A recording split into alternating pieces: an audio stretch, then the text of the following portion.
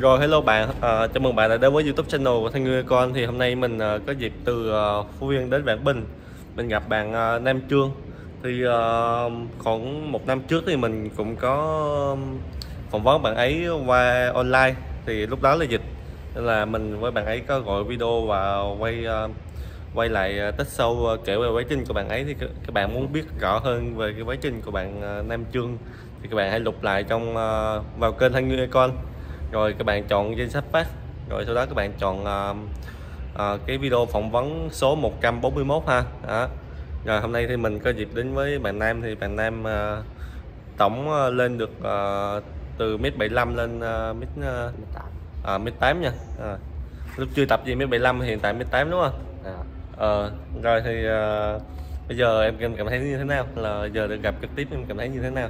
Em còn thấy ờ, hơi hồi hộp vậy ờ. Phải là mình ờ, rồi em uh, bữa giờ em còn tập không?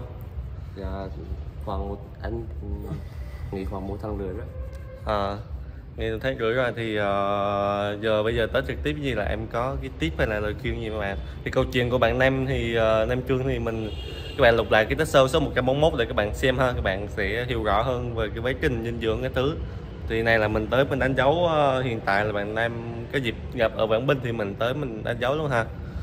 Thì vừa sáng mình cũng có đến quay clip với một bạn ờ, hai cái bảy lên được 8 cm từ ờ, một mét 66 lên 1m74 rồi về muốn chúc các bạn trong nhóm tăng chiều cao thì ờ, chúc, chúc trực tiếp nè.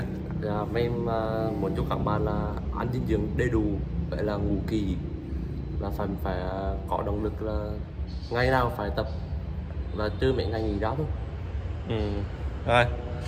Ờ, rồi vậy thôi chung chung là cũng không có gì chia sẻ là vì lúc trước clip trước mình cũng chia sẻ rồi ha.